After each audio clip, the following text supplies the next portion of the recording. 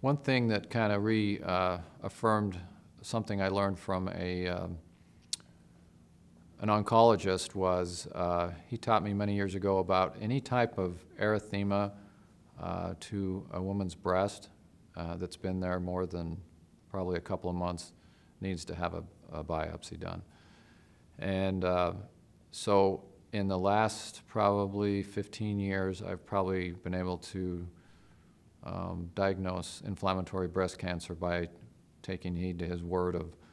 of don't let that just slide by and don't, you know, when women come in and you're doing an exam and you ask them, how long's that redness been there? If they say, oh, a week,